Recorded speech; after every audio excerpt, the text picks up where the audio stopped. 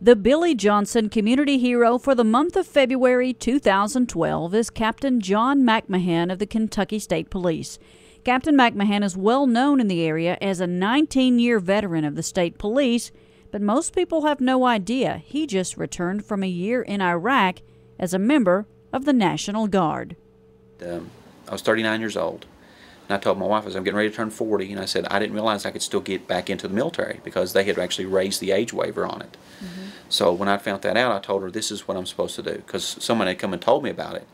I researched it and found out I could go in as an officer, which means I would be in charge of troops. And I thought that's what I need to be doing.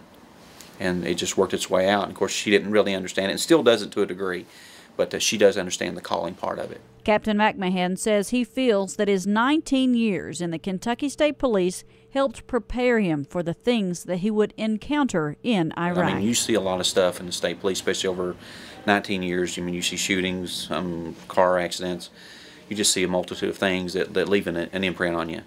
And helping those young people deal with things that they saw over there um, or might see. You know, you just never know what you're going to see over there.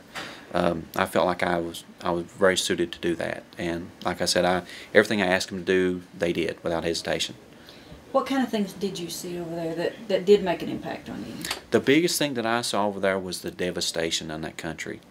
I mean, there is almost all the buildings over there are just completely destroyed. And one thing that really, really shows you, gives you an insight into how their culture is, or was, let me rephrase that. They had a uh, Republican National Guard building over there. This was right outside one of Saddam's palaces. And inside this, they had a nursery. And inside this, the, the, the nursery, the whole building was bombed out. Of course, there was no children at that time, but they had bombed the building out. And on the walls, you could see a mural.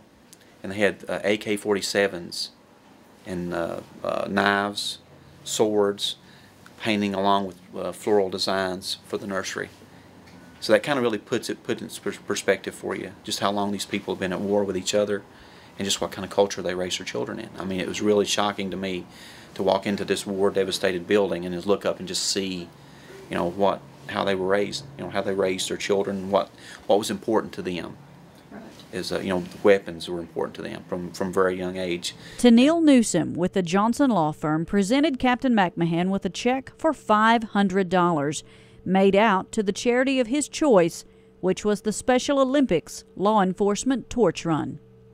When asked why he decided to go back into the military and serve his country at 40 years old, Captain McMahan said he truly feels that it was a calling. Uh, to, me, to me, I mean, it's it's a, uh, and you know, it's it's a religious thing for me. I mean, I felt like that um, that God wanted me to do this, and I felt like that I that I answered the call, and I just felt led to do it. I mean, when I, when I got over there, you know, and I'm looking at all the young people that's over there with me, and, and they all, you know, wanted to hear stories about the state police and stories about, you know, what I've done in the guard so far, and you know, it was it was just very fluid. I mean, everything I asked them to do, they did without hesitation, without question, and I felt like that's why I was there to, to make sure they they were kept safe, and using my experience in that in that regard. Congratulations, Captain John McMahan of the Kentucky State Police Billy Johnson Community Hero for the month of February 2012.